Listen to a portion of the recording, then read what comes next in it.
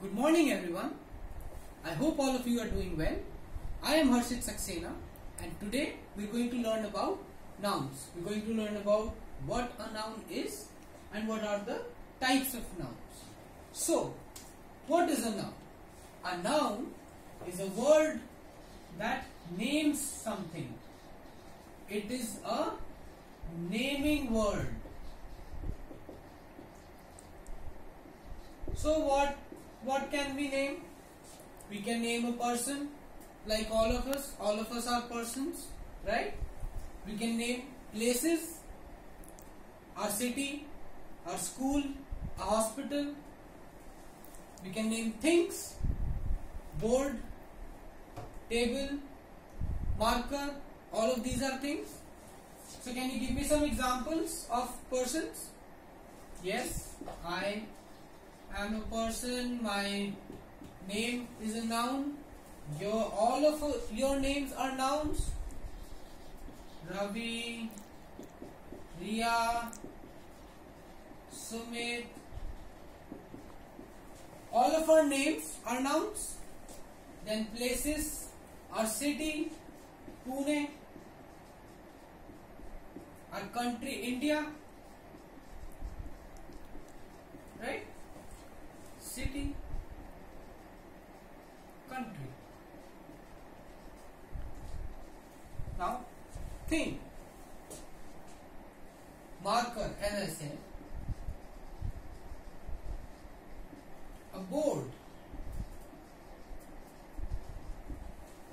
These are things. So, noun is a naming word and it can name a person, a place or a thing.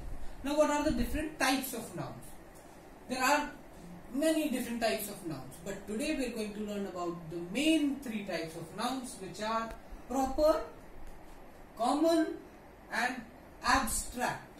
Abstract. So what are proper nouns? A proper noun is a noun, is a word which names something unique.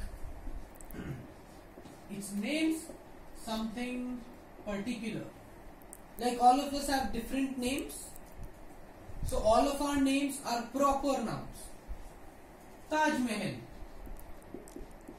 Taj Mahal is unique.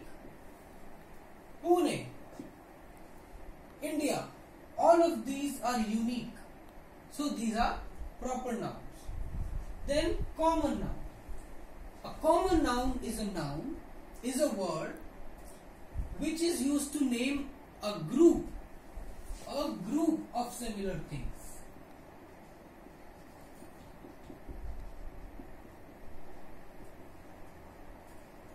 For example, building.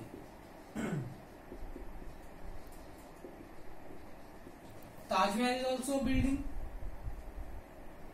Our hospital is also a building.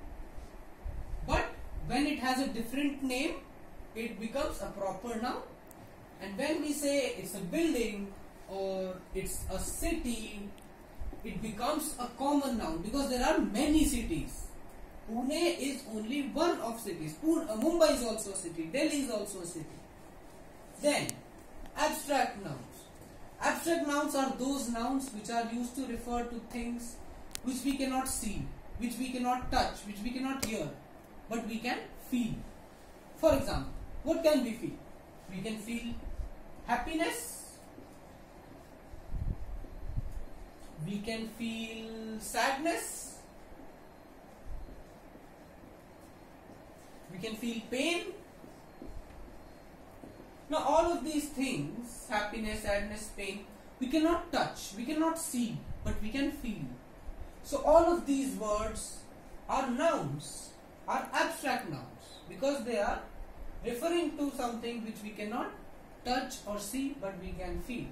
So today what have we covered? We have covered what a noun is, that it names a person, a place or a thing and the different types of nouns which are proper nouns naming something unique, common nouns which name a group and abstract nouns like happiness, sadness and pain which we are used which we use to name things we cannot touch or see or feel. Thank you.